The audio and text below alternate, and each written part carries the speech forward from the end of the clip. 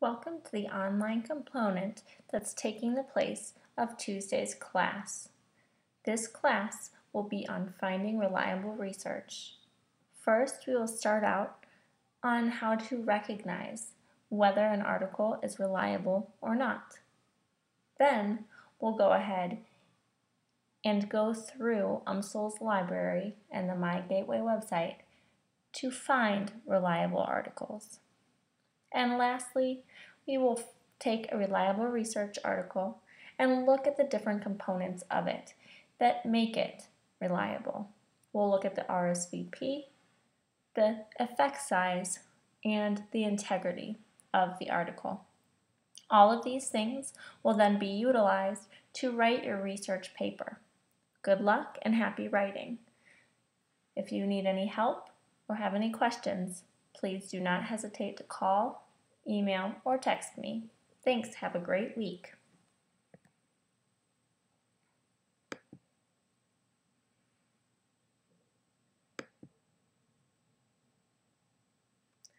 The first part of finding reliable resources is knowing what a reliable resource is.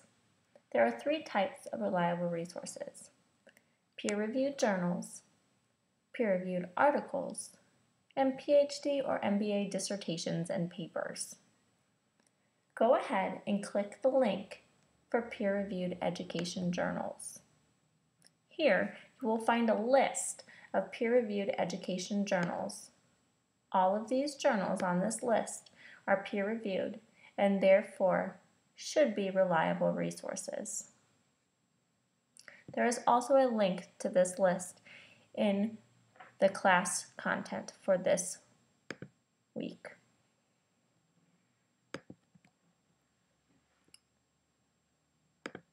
What does it mean to be peer reviewed?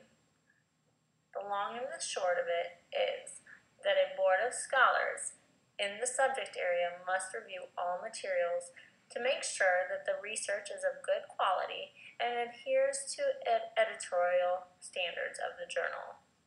So basically, in order to get a research paper published in a peer-reviewed journal, it has to be reviewed before getting accepted.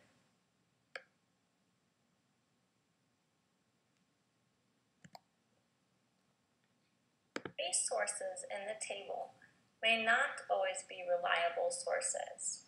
URLs with the .edu, .org, or .gov endings may have political biases or agendas. Proceed with caution. Look and see if the only articles that are on the website specifically deal with and help to back what the main organization's goal is. In terms of online journals and magazines, most of these are not peer-reviewed. Therefore, the sources should include a scholarly bibliography in order to be reliable. And lastly, news sources like online newspapers, online journals, or even online news videos are primarily there to entertain its public. So these should be used not as reliable resources, however, but as stepping stones to find more reliable sources.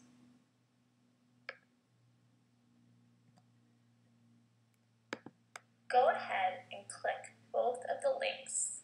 First, click the Inside ADHD Scholastic Teacher link. This will bring you to an article about ADHD. Once you are through reading that article, please come back to the PowerPoint and click the Academic Strategies for Children with ADHD link. Then read this article. When you are done, I want you to decide which one of these articles is peer-reviewed and therefore reliable. Also, you can find both of these articles linked in the class content folder for this week.